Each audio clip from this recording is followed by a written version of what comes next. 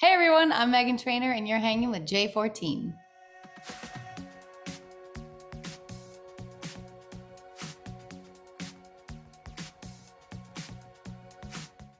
Oh yeah. Okay, this is Daryl and I.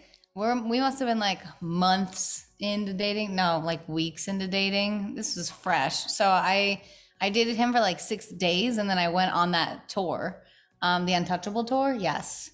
Um, this is for my second album. Thank you. And uh, we started dating, and I was like, "Do you want to come visit me on on the road?"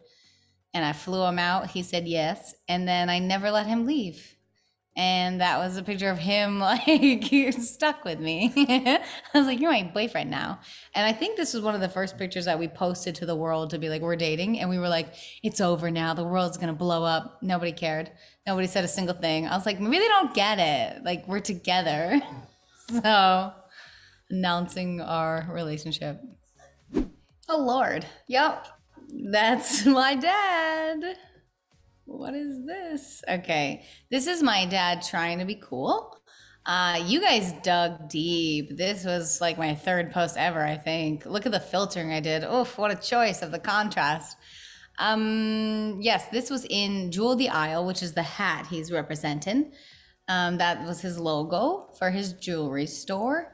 And he was trying to be really, really cool. And I took a pic and I was so proud and I posted it. And yikes. Isn't he cute? look at this picture. He's red as a lobster. Oh, see, this is the day. This is the day that I knew I was going to get to hang out with JoJo Siwa.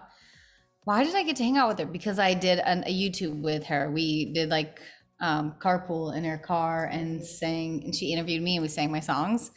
And she, it was the best day ever. And I told my glam, I was like, make me JoJo Siwa. And they crushed it, obviously. And, I was like, please take pictures of me. My cousins also, I have younger cousins, and they never thought I was cool until I met Jojo Siwa. So that was that was the first coolest thing ever. Oh, I love this picture so much. So this was my second tour ever.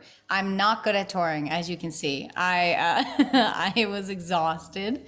I was in my onesie. That was my theme for a summer tour. Mistake mistake. It was hot. I was wearing those onesies, but I committed every single tour, every single sound check. I was in those hot onesies, sweating. Um, and this was after a show, and that was my tour manager picking me up because I was so exhausted. And someone captured that beautiful moment. That's Britain. So this picture was um, taken the day we recorded Wave at Mike Sabath. He's an amazing producer. He's gonna blow up. Everyone will know his name and artist. Uh, we recorded this at Mike Sabath's place, and it's one of those songs that I'm the most proud of.